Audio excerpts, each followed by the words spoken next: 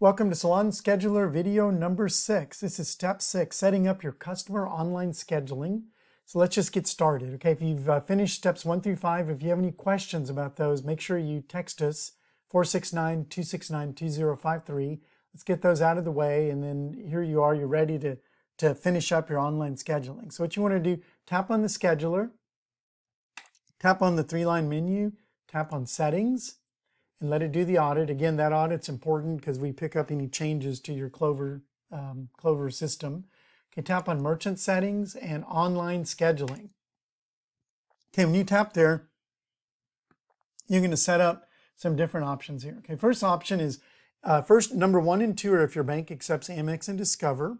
Okay, three is hard service breaks. You'd turn this to yes if you have break times in your services that you don't want to be schedulable, schedulable by customers online. Normally that's no, okay? Employee first booking, you wanna usually leave this at no um, because we use uh, normally service first booking where the customer picks the service first and then they pick what services, after they pick the services, they pick the date. And we have an algorithm that figures out the best customer, I'm sorry, the best employee, like the one who's the least busy uh, on that particular day and we offered that to them. And you remember you can set that you can set employee favoritism like how much an employee is favored on that algorithm. But again leave this in no unless you really need to pick you want the customer to pick the employee first for sure okay? Book ahead hours if you set this to for example 12 then the next available appointment will always be 12 hours in the future. This would be like if you don't want people booking the same day Okay, book months window, it's two months is how far someone can book ahead. If you make this too far ahead, then people forget about their appointment. So you probably want to keep it limited. Uh, require card on file. If you want to require that your customers leave a card on file so you can charge them if they're no-show, or if you want to charge them a deposit up front, or if you want them to pay the full price up front, make sure this is yes. Okay, charge deposit at time of booking. This would be if you want to charge like 30% at the time of the booking or even 100%, like you want them to pay for all of their services. Make sure this is set to yes. If it's set to no, then we're only going to keep a card on file. And then you can charge that card on file using the no-show button on the appointment or using the charge deposit on the action on an appointment. Okay. Enable waitlist, um, you want to leave that at, no for now. We're not actually finished with that feature.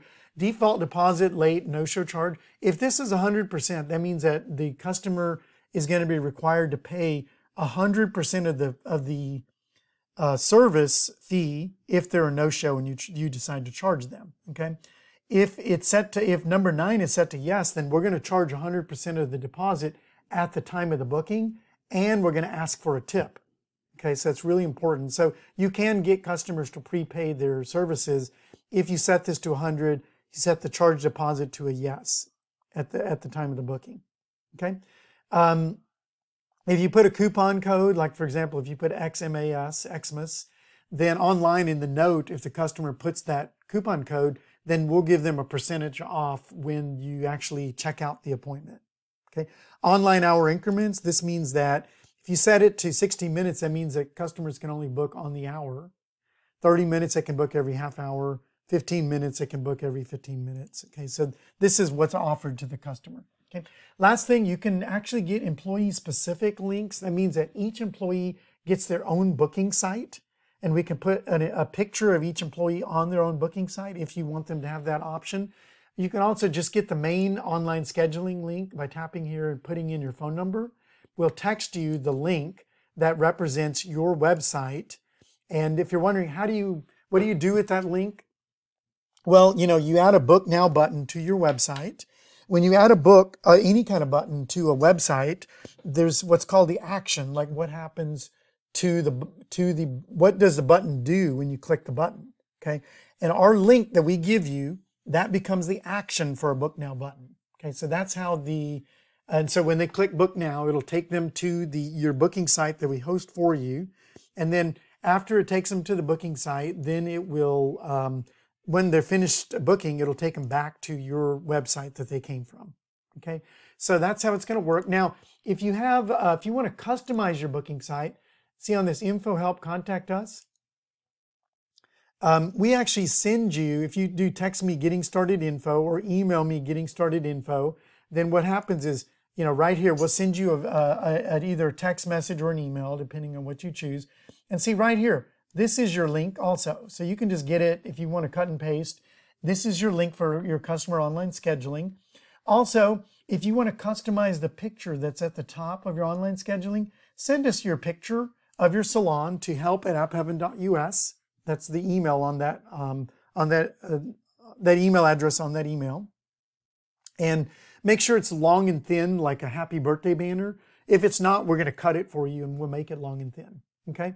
But so, and then if you want to customize the text at the uh, at the top of your booking site, just send that custom text to us at help at appheaven.us. If you have other needs associated with it, just email us, help at appheaven.us. We'll be glad to help you figure out if we can, you know, we'll let you know if we can do your what you need or not. Okay. But so again, this, this email address will help you be able to customize your booking site. And, um, and then so when a customer goes to book, they're going to be able to book. The appointment will appear on all of your devices and it will have a little uh, computer icon next to it to let you know that somebody booked online. Okay.